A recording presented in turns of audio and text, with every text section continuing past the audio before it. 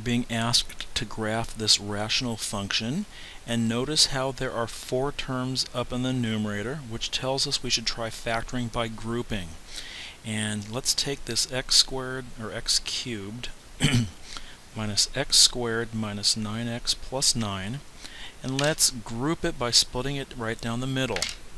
From the first two terms we can factor out an x squared and have x minus 1 left over. Then factor out a minus 9 and have x minus 1 left over. This becomes x minus 1 times x squared minus 9, which becomes x plus 3, and x minus 3. So our original function that's up top there can be rewritten as r of x equals x minus 1, x plus 3 times x minus 3, all over x squared. Now let's do some analysis on this function right here. Looking at the numerator,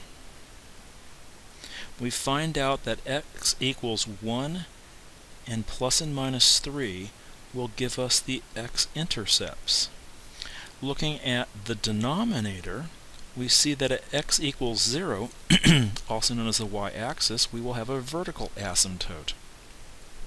Then we substitute 0 into the function, and r of 0, when you substitute that in, we divide by 0, so we're going to get 9 over 0, which is undefined, and that basically means there will be no y-intercept, which is consistent with the vertical asymptote at x equals 0.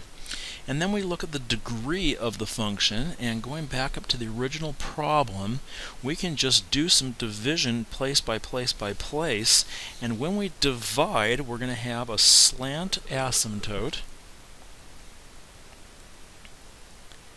at y equals x minus 1, and we'll ignore the rest of it because that's just the remainder and here we go. Let's plot our x-intercepts first. We will have one at positive 1, positive 3, and negative 3. We will have a vertical asymptote along the y-axis here. And we will have a diagonal asymptote having a y-intercept of negative 1 and then going up 1 over 1. So that becomes our diagonal asymptote. now we know our curve is going to go through this intercept here and we've got a couple boundaries on the left so it looks to me like we've got this function on the left um, because our denominator is x squared which has even multiplicity that tells me that my graph is going to approach the same infinity on both sides of this vertical asymptote.